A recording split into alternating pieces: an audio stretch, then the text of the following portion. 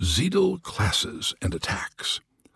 Wow, you've made it this far and learned so much about the world of Zeedz already. Now we get to one of the most exciting parts the battle in the Dark Tower.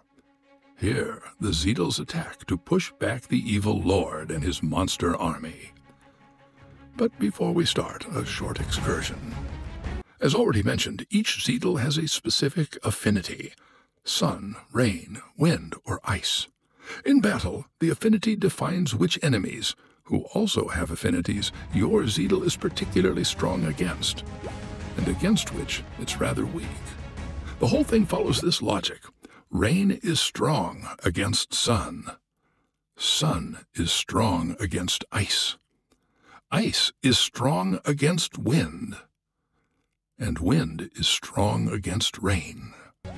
So, when assembling your Zeedle team for battle, pay close attention to the enemies and their affinities and adjust accordingly.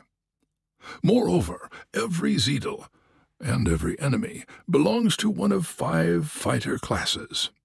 The tank can defend especially well at the forefront. The mage can cause dangerous area damage. The ranger can deal particularly high damage to a single enemy. The healer can recharge your group's health. The enchanter can strengthen your group with magical buffs.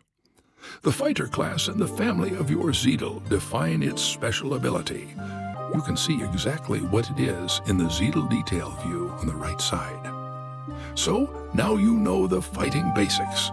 Let's assemble your team.